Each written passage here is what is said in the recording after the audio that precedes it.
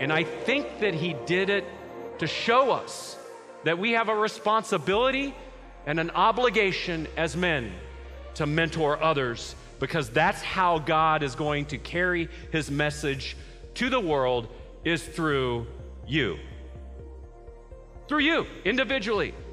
That God has given you voice, power, dominion, authority, and command to do this so that we can influence the world. And I believe that apathy leads to the silence of men, which is the dropping of the baton of the discipleship mandate that God gave us because He wants us to understand that we can't do life alone.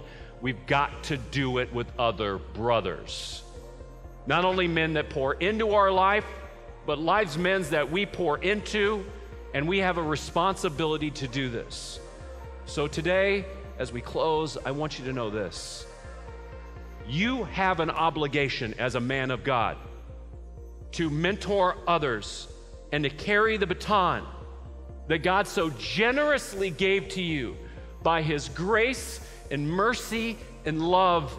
You have a responsibility and an obligation to deliver that to the world through the voice and the gifts that He's given you.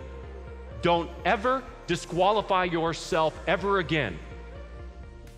Don't ever disqualify yourself ever again because if you're indwelt by the Holy Spirit, that is good enough.